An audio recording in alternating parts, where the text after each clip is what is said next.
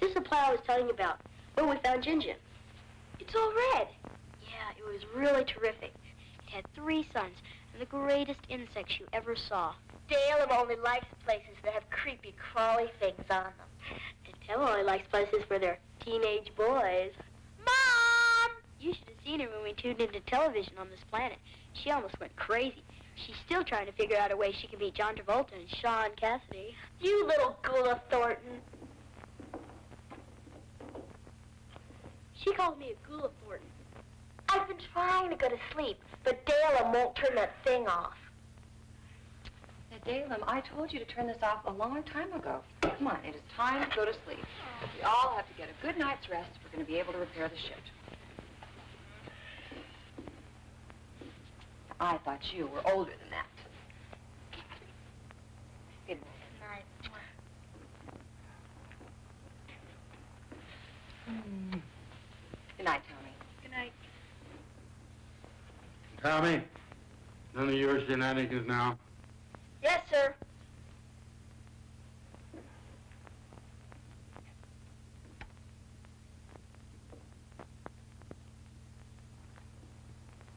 Who's Ellen? My daughter-in-law, Tommy's mother. She's been gone a year now. For a moment, you reminded me of her, the way you were tucking the children in.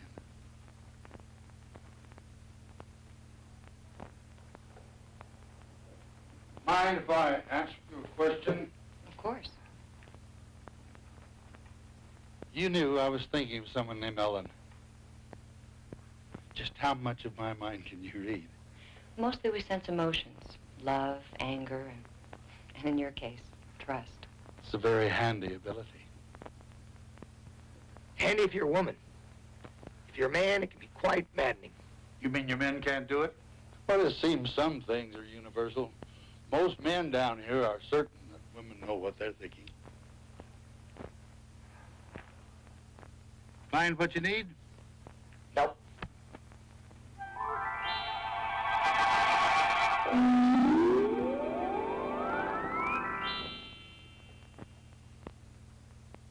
Oh, I keep forgetting that we can do some things that you can't. It must be rather upside down to you. Honey, I think the word is upsetting.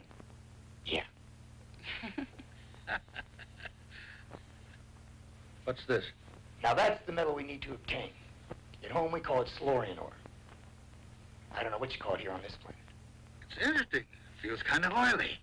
Well, that oily quality is what makes it unique. Its heat resistance is 10 times greater than any metal in the galaxy.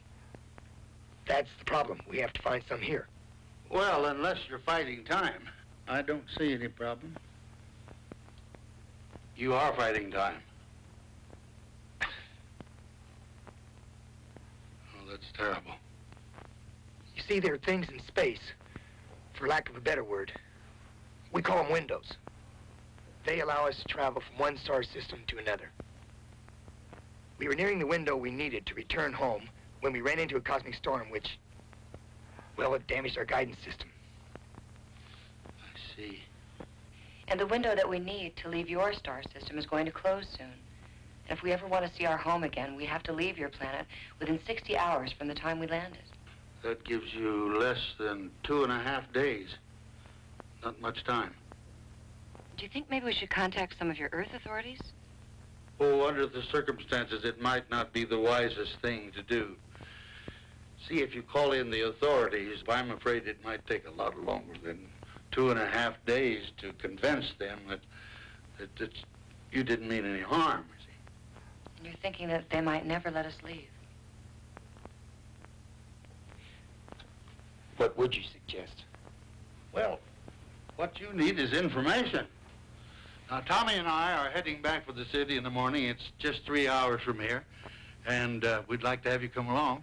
We could put you up. We've got plenty of room. Show you a little of our world. And the most important for you, the university with its libraries is just a couple of blocks away from our hotel. Do you think this university has the information we need? It might. Well, I hate to get further and further away from the ship, but we have to do something. Look, we'd be horrified to join you. Honored, honey. He means honored. Yeah, that too. All right, well, that's very good news. 10-4.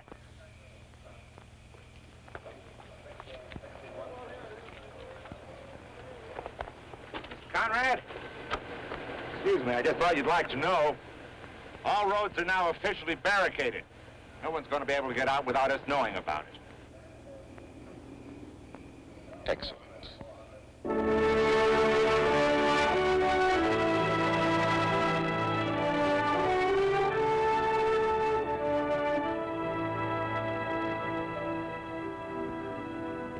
Strange looking? But pretty. What are they? I saw them on television. They're insurance salesmen. They're not insurance salesmen? They're called elk. You find them all over in these parts. They're animals. Insurance salesmen have to be people. Uh-oh. What is it?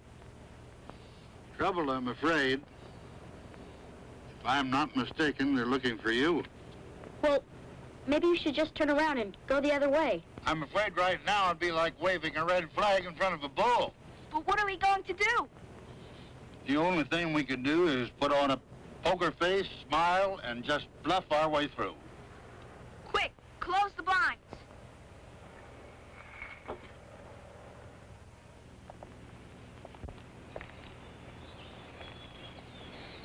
Morning, Sheriff. Good morning. Morning. What's all this? Well, it has to do with that UFO we spotted last night. That fellow over there by Deputy Sweeney, space agency sent him down here. His name is Conrad. I had to set up roadblocks for a 50-mile radius. Oh, what you looking for? Strangers. You know what I mean? Oh, does that mean that you found the UFO? Well, not yet. But we've got over 300 men out looking for it now. We'll find it. Well, uh, good luck to you, Sheriff. I'm on my way down the city, and if I see anything suspicious, I'll give you a call on the CB. I'm supposed to search all vehicles, Mr. Anderson. But I guess you're okay. All right, man, you can let this one go through.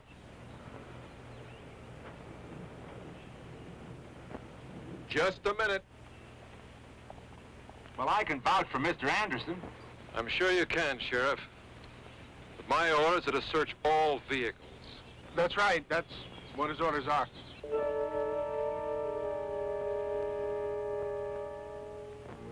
Come with me.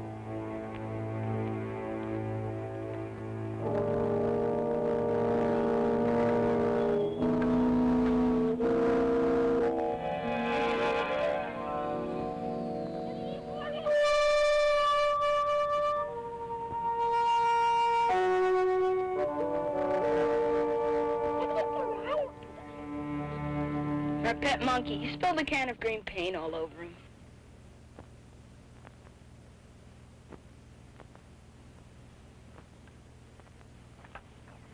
You can drive on. That's funny. I never knew Tommy had a green monkey. That's neat. Next car.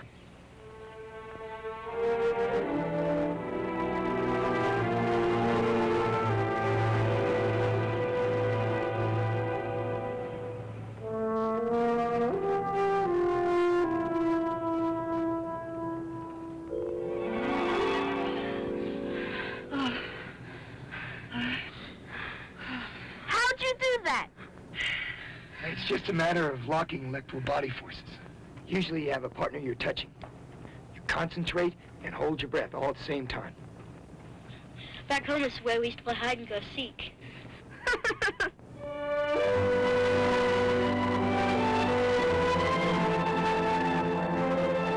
Well, this is it. Home sweet home, such as it is.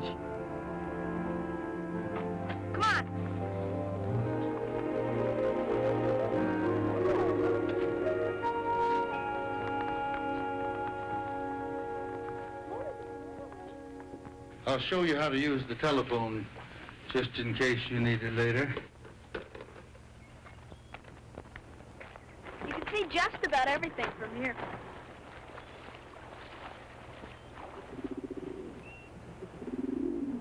Aren't they cute? They sure are.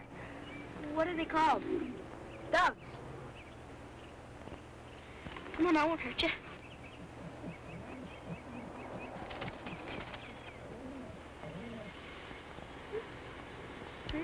You and your creepy crawly thing. That's all there is to it. Mr. Wright? I've been looking for you for hours. Boy, good thing I saw you drive around front. Oh, we have trouble. Slow down, Willie. Slow down. What's your problem? Well, uh, everything, sir. I mean, not everything, but uh, uh, the big freezer's on the blink, and uh, the laundry misplaced 300 tablecloths. Well, where are the blazers at Billings? Well, that's just it, sir. He quit this morning. He quit. The manager of a hotel doesn't quit the day before a stockholders meeting. You think Madden had anything to do with this?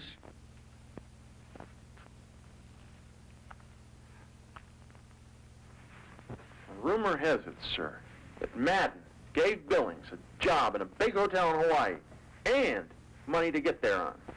Hmm. Well, it looks as if I've come back to a hornet's nest, so I must excuse myself for a little while. Willie, these are the people who I reserved the suite for, Mr. and Mrs. Uh,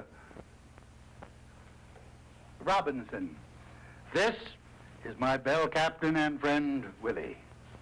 Uh, now, it's Mr. and Mrs. Robinson, as in Swiss family. Oh, Swiss family. They're from Kansas City. Well, Kansas City. Well, that's where you're from, isn't it, Bob? Yeah. Well, listen, it's just a little tiny world. Certainly is. uh, Willie, I'd appreciate it. Now, if you'd go back to the front desk and check them in, all right? Oh, yes, sir. Nice to meet you folks. Bye.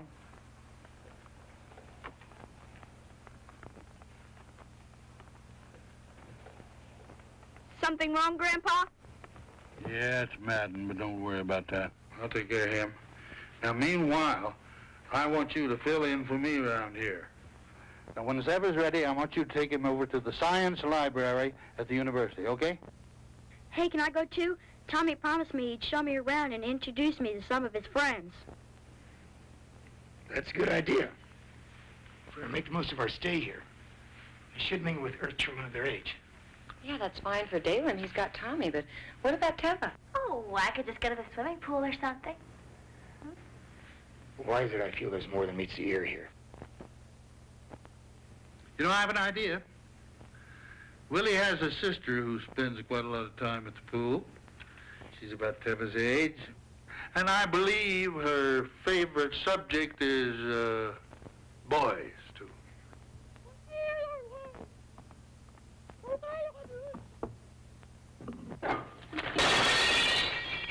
Oh, no!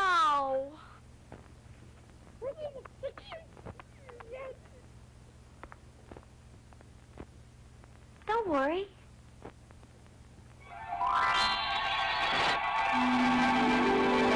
Wow, how did you do that? Halfway as usual.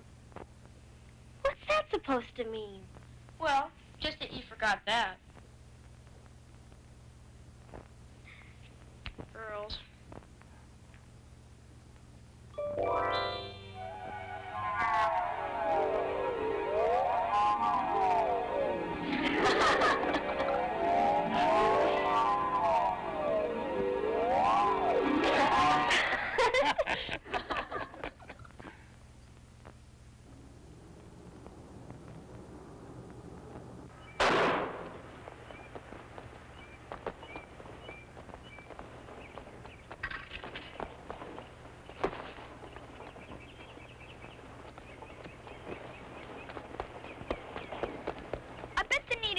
All is that all the time you're in space, you don't have to go to school. I wish. You mean you do have to go to school? Well, besides being scientists, both my parents are teachers. What do your folks do? My dad used to help my grandpa run the hotel. Oh, yeah? Well, uh, what does he do now? My mom and dad died in a car crash a year ago yesterday. I'm sorry. You don't have to be sorry. People die all the time, and you can't bring them back by being sorry.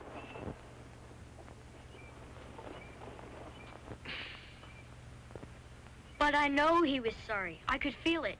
He wanted to cry. Yeah. But why did he say that?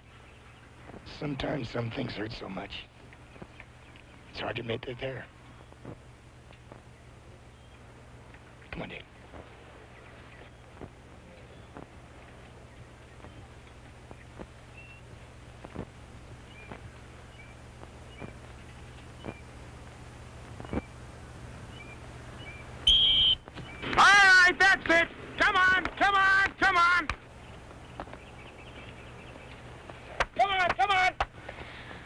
Library over there.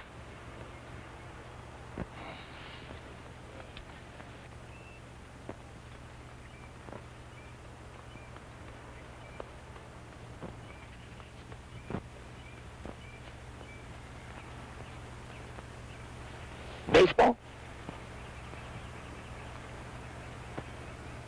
Football?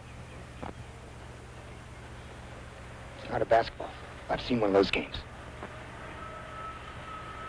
What is it? It's a shot put. A shot put.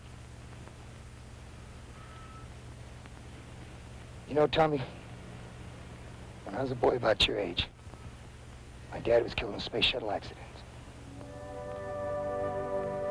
It was the worst feeling I ever had.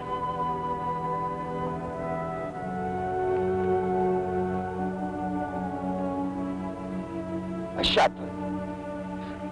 You never play this at home. And what happens if you try and catch this and miss? Um, can I try that? Sure.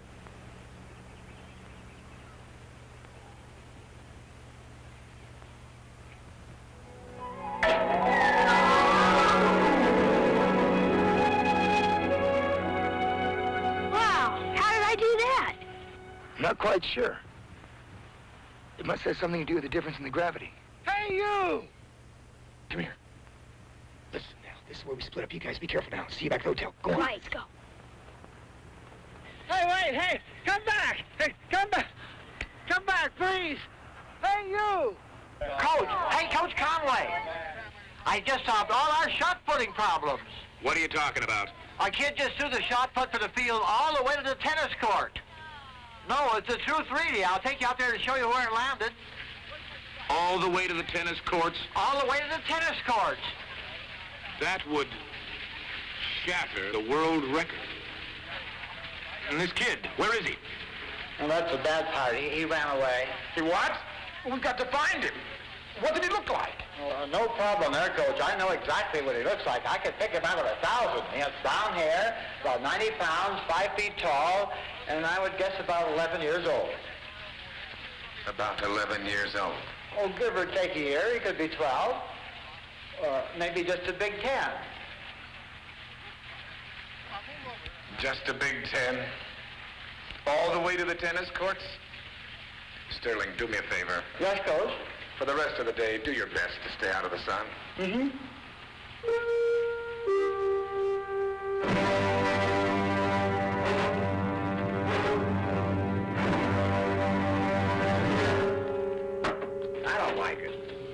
Into Miss Anderson's place without even telling him. We've searched every other cabin on this bridge, and we're gonna search this one.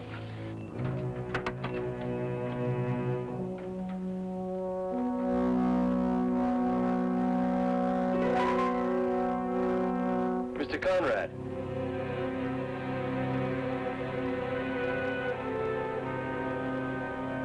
Something in this little one. Looks like hair.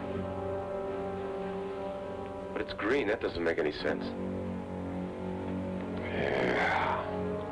About as much sense as a green monkey.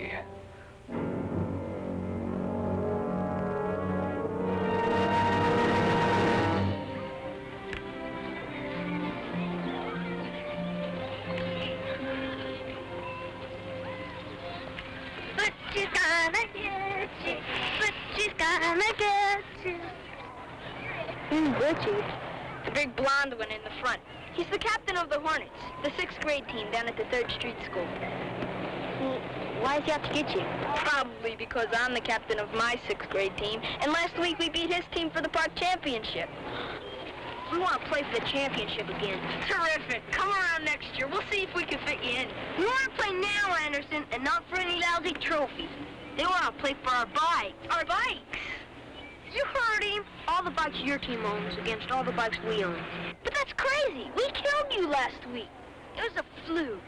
Fluke, we beat you by 22 points. What do you say, Anderson? You playing or you chicken?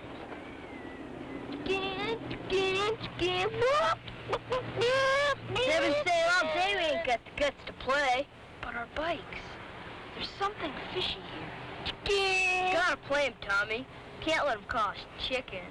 Chicken. Chicken.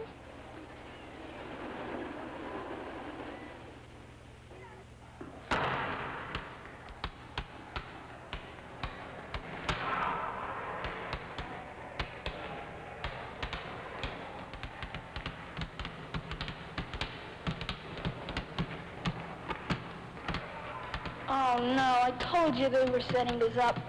It's the Goon twins. Not fair. They're in the eighth grade.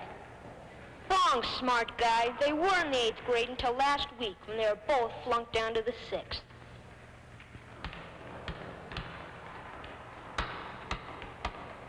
But those guys are animals. Man, I got a feeling they're animals who could ride bikes.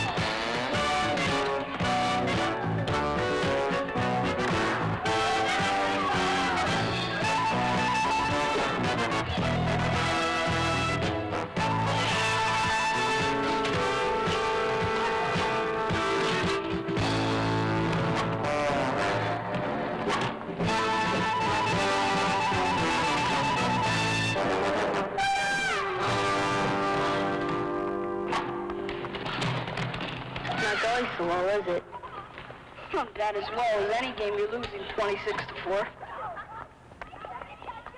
I'd say right now, the best thing we have going for us is that with Snodgrass not in the game, at least he can't bite anyone. I don't know too much about your game, but I could probably help.